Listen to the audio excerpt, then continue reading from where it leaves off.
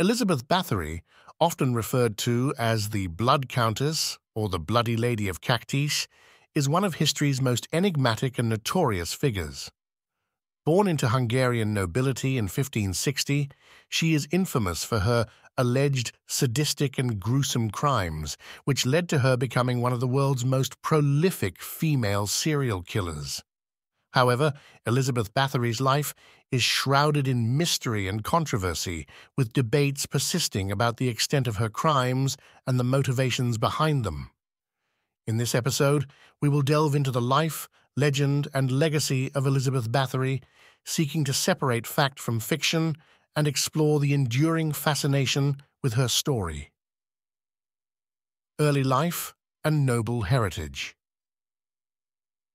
Elizabeth Bathory was born on August 7, 1560, into the illustrious Bathory family, which was one of the most powerful and influential noble families in Hungary at the time. Her birthplace was the Ecsed Castle, located in the Kingdom of Hungary, which was part of the Habsburg Empire. She was the daughter of Baron George VI Bathory and Baroness Anna Bathory. Growing up, Elizabeth was exposed to the privileges and responsibilities of aristocracy. Her family's status meant that she received an education typical of her social class, which included learning to read and write in Latin, German, and Hungarian. Elizabeth's childhood was marked by a complex blend of luxury and familial expectations, setting the stage for the events that would unfold later in her life. Marriage and Castle Csejte. At the age of 15, Elizabeth Bathory was married to Count Ferenc Nadasdy, a Hungarian nobleman renowned for his military exploits. Their union was not only a political alliance, but also a joining of two powerful families, further consolidating their influence in the region. The Nadasdy family owned several estates, including Csejte Castle, where the couple would reside for a significant part of their married life.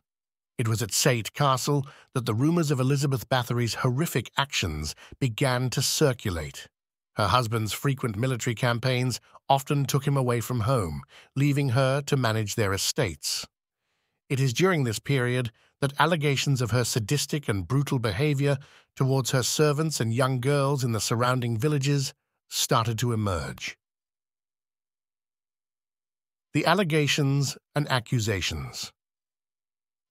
The accusations against Elizabeth Bathory were nothing short of shocking. It was alleged that she, along with several accomplices, had systematically tortured and murdered young girls. The motives ascribed to her varied from sadistic pleasure to beliefs in dark rituals and the pursuit of eternal youth. Some claimed that she bathed in the blood of virgins, believing it would preserve her beauty and vitality. The exact number of victims attributed to Elizabeth Bathory is a matter of considerable debate. Contemporary accounts and testimonies during her trial suggest that the number may have reached several hundred, making her one of history's most prolific serial killers. However, it is crucial to recognize that much of the evidence against her came from questionable sources, including confessions extracted through torture and hearsay. Arrest and Trial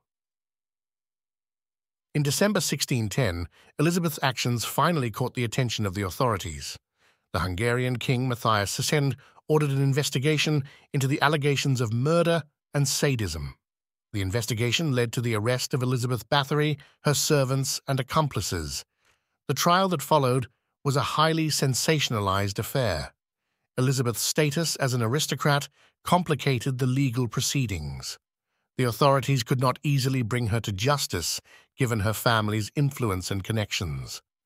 As a result, rather than facing the death penalty that a common criminal might receive, she was placed under house arrest in her castle. Her accomplices, however, faced more severe punishments, including execution.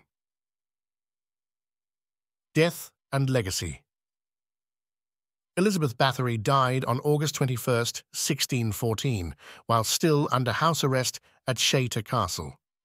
Her exact cause of death remains unclear, with some accounts suggesting suicide, while others claim natural causes. Regardless of the circumstances of her death, her legacy endured and evolved over the centuries. The legend of Elizabeth Bathory has been the subject of numerous books, movies, and works of fiction.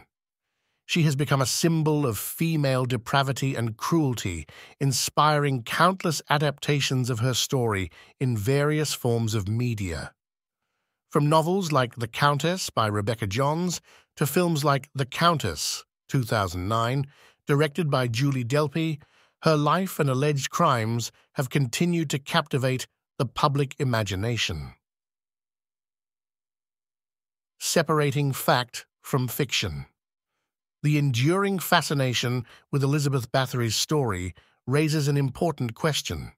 How much of the legend is based on historical fact, and how much is the product of sensationalism and myth? Firstly, it is essential to acknowledge that many of the accounts of Elizabeth's actions were written decades, if not centuries,